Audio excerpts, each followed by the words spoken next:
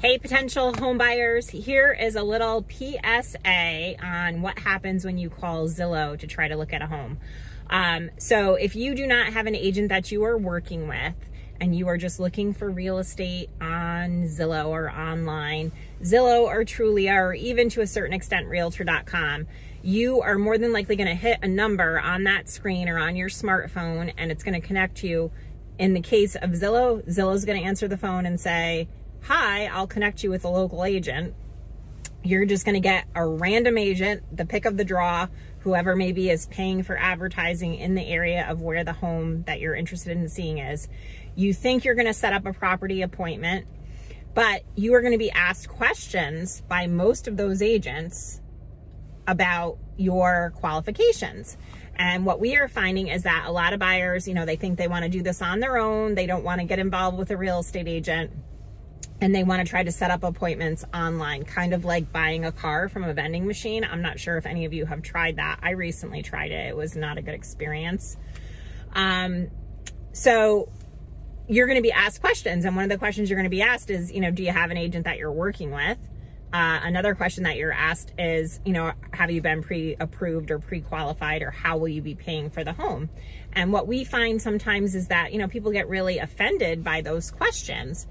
Um, I don't know why that is because they are important questions. And if you're going to go in and buy furniture or you're going to go in and buy a car, the people at those establishments are going to ask you, you know, is this going to be a cash purchase or is this going to be, uh, you know, are you going to be, be financing it? And obviously, you know, they're going to need to run your credit and do all that stuff. We don't have to do that as real estate agents, but we do ask that you get pre-approved um, or show us proof of funds.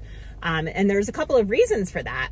Um, one is, is that when you're a home seller, so if you can try to look at it from the opposite point of view, if you're a home seller and you're opening up your home, especially in this day and age where it's COVID and people are, you know, very nervous about opening up their home to let potential buyers in there, the home seller really wants to know that you're an actual buyer and that you're not just a tire kicker and that you can actually purchase the home if you like it. Um, so that's reason number one. Reason number two is, is that we real estate agents, we are not um, employees. We don't get paid by the hour. So in order for us to, you know, leave our homes and leave our offices and go out and work with you, we want to know that you are actually a viable candidate and that you are able to get financed. So um, there seems to be a lot of confusion over how Zillow works, um, and Zillow is very confused about how it works too. Zillow is not a real estate company. They really are a marketing company. So you can read a lot of reviews that are actually usually accurate on Zillow about real estate agents. And one of the things we would encourage you to do, all of us real estate agents, is pick an agent that you want to work with.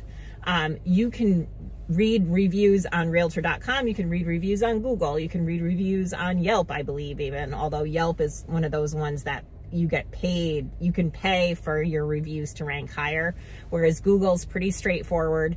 Zillow, you know, at least it's a good place to put your reviews, I guess, as an agent, and they are actually written by consumers. But, or ask a friend or family member who did they work with on their home purchase. It does not cost you anything currently in New York State, in our area, for you to work with a real estate agent. Um, it is free. The seller pays the commission on that sale you know, and so you get an advocate who's working for you, who's legally bound to work for you and in your best interest, as well as ethically, if they are a realtor, because there's a difference between a real estate agent and a realtor, which we'll get into some other time. Um, if you are an actual realtor, you are bound by a code of ethics. So it is our duty to work for you as long as you have said that you want to work with us in a buyer agent capacity. It is our duty to advocate for you, to work for you, and to point out reasons why you shouldn't buy certain homes. Like this home has a bad foundation. This home is next to a landfill, you know, or a proposed landfill, all of those things. So we're here to advocate for you. So it really is in your best interest to interview a couple of agents, check out the online reviews and sit down with somebody via Zoom today and actually talk about the process. So that is my um, little Sunday snippet. I hope you guys have a good day. I talked a little bit too long again. My name's Cindy McMahon. I'm with Hunt Real Estate, 518-496-1299. If you have a question, talk to you soon. Bye.